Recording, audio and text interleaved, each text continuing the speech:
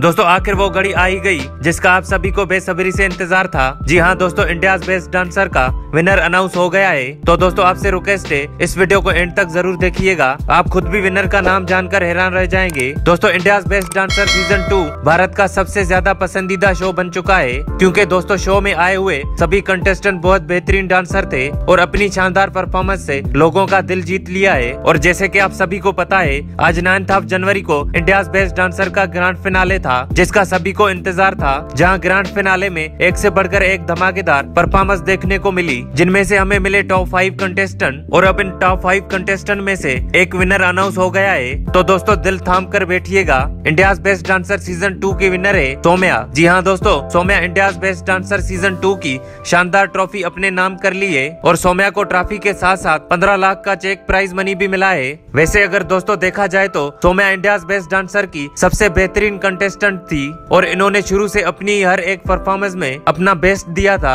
और जजेस और ऑडियंस का दिल जीत लिया था। दोस्तों, आपकी इस बारे में क्या राय है? सोम्या विनर होना चाहिए थी कि नहीं? या फिर आप किसी और को विनर बनते हुए देखना चाहते थे? अपनी राय हमें कमेंट में ज़रूर बताइएगा। और दोस्तों, अगर आप सोम्या के फ़ैन है तो इस वीडियो को कर दे लाइक और दोस्तों, मजीद अपडेट जानने के लिए हमारे चैनल को सब्सक्राइब कर दें और बेल आइकन को प्रेस कर लें।